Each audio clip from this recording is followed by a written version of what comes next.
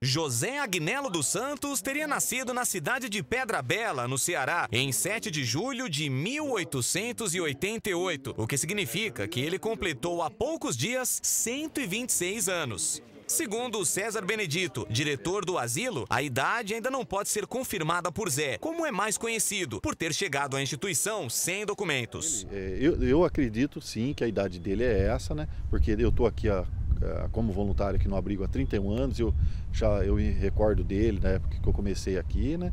Ele chegou aqui em 73, né?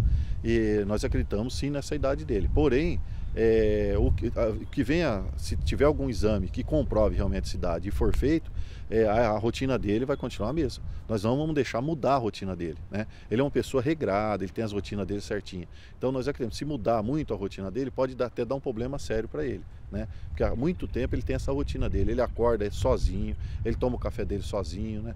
ele faz suas necessidades sozinho. Então nós não queremos a mudança brusca de rotina dele. Talvez pode ter mudar alguma coisa, mas isso tudo bem estudado, bem trabalhado. Segundo os donos do local, Santos foi levado até a casa por alguns fazendeiros da região há 40 anos. De acordo com eles, Zé chegou ao asilo com poucas roupas, sem nenhum documento e com muita dificuldade de se comunicar. O senhor José Aguinello, né? Ele quando ele chegou aqui conosco aqui, ele não tinha documento nenhum, né? Então o pessoal começou a procurar os documentos dele, tentar localizar. Aí foi foi através de ordem judicial tirar o documento dele, né? E por estimativa, né, o juiz então determinou essa idade dele. Porém nós já sabíamos essa idade avançada dele, né?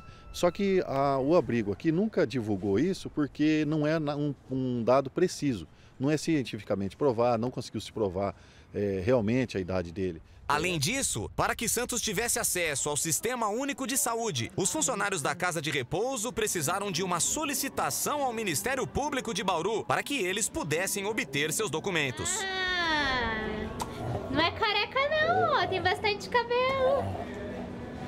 Não mandei cortar. Já, já, já mandou cortar? Não quero mandar cortar, o cara, o cara careca.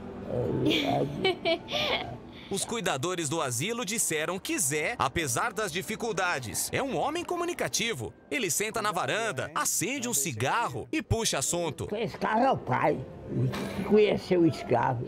Segundo o homem mais velho do mundo, ele chegou a São Paulo para trabalhar na lavoura de café, já que seus pais eram escravos. E esse era seu único conhecimento. Mais, não, não é